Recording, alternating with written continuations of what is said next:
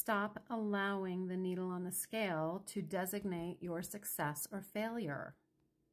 Enough. I do health coaching with a lot of folks around the world, and the number of times I personally and the number of times that people have shared with me that they got on the scale and they felt deflated, defeated, discouraged because they gained weight, and the sense is, is I've failed.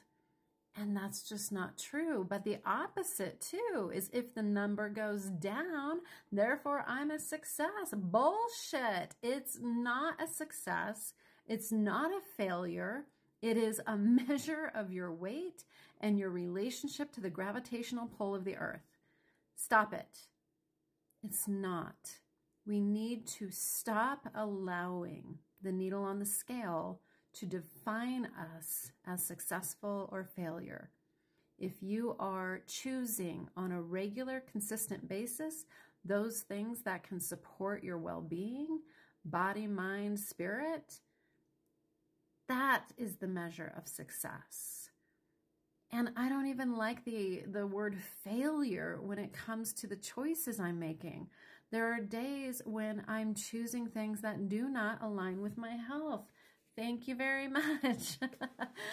and that does not mean I'm a failure.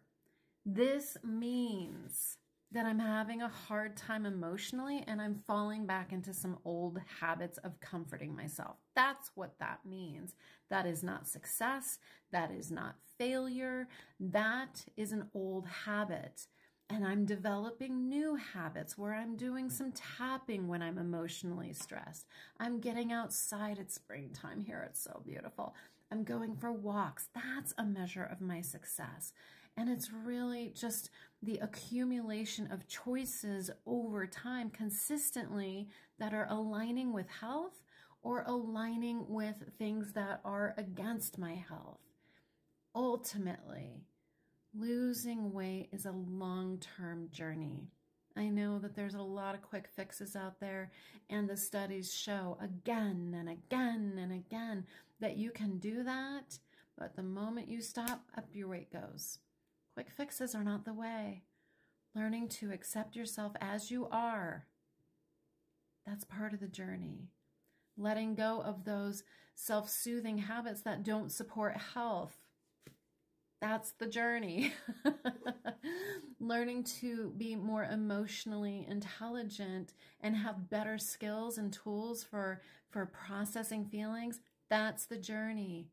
Addressing internal inflammation and leptin resistance and insulin resistance, reducing chronic stress, that's the journey.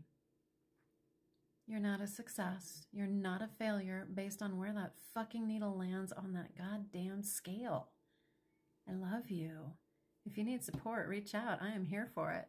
Take care and be kind.